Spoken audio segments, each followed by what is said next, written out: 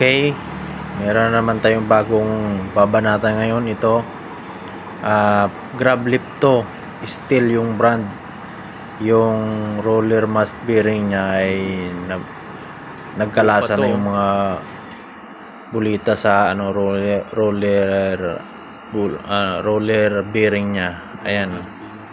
Mga ball bearing niya nagkatanggalan na.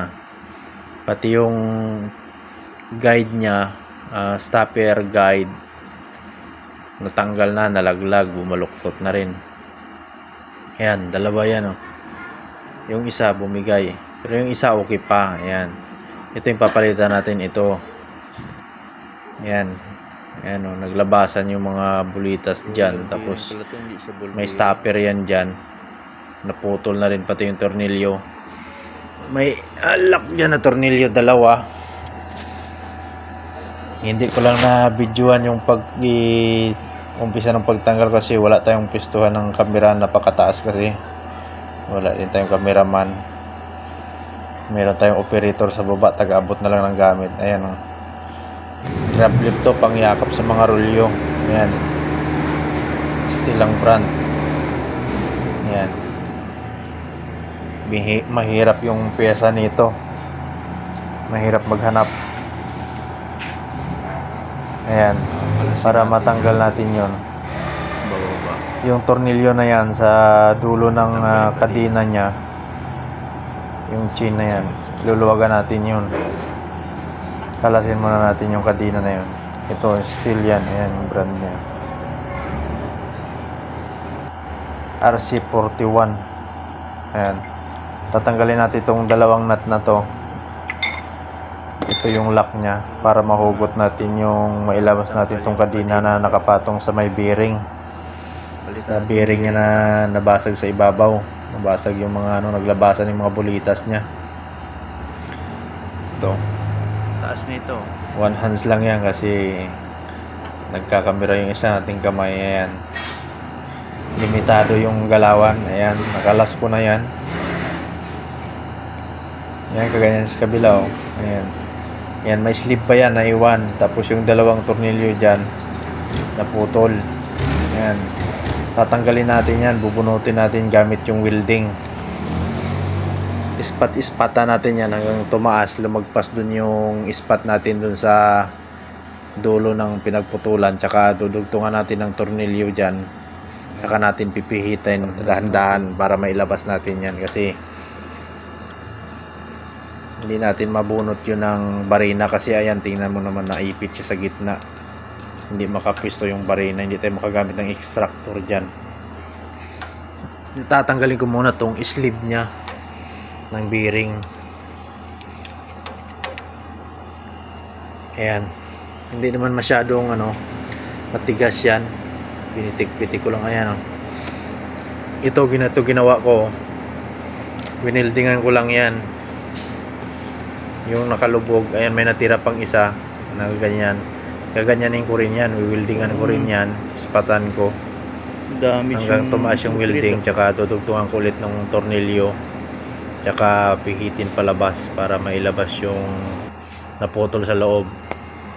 Kasi masikip yan ayan oh, sa gitna yan eh. ayan ito nabunot ko na yan. Hindi ko lang nabidyohan yung pagka paano ko ispat paano ko i-welding kasi wala akong pistuhan ng kamera sa ibabaw. Tsaka limitado yung kilos kasi mataas masyado. Baka madulas tayo pero ganyan lang yung pagtira niyan.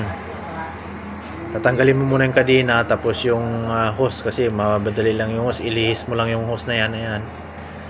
Yung nut lang ng dalawa kanina sa may kadena pag tinanggal mo na yun pwede mo na siyang hatakin pa Okay. ano papunta sa kabila. Ayan may bearing tayong pamilit na ganyan no? Hindi kagaya sa original yan pero pwede na yan. Kasi yung original niyan wala tayong mabilhan meron man pero napakatagal pag in-order natin sa supplier nitong unit kaya bumili tayo ng ano ganyan no Kasi nagpalit na rin tayo dati sa ano, nagpalit na rin ako niyan dati sa kabila. Yung isang unit na yun, yung nakaharap niya. Nabasag rin dati. Yan, pupukpukin ko lang yan, dahan-dahan, hindi na masyado matigas ipasok yan. Yan. 6309 yung bearing number niyan. Yung may mga steel dyan na forklift pag nabasagan yan, 6309. Grab lift forklift, pareho lang yan. Sa clam lang tsaka blade sila na ano, sa fork tsaka uh, clam nagkaiba. Ayan yung welding natin sa baba. Ayan, naibalik ko na to, hindi ko lang na videohan dahil wala tayong ano eh.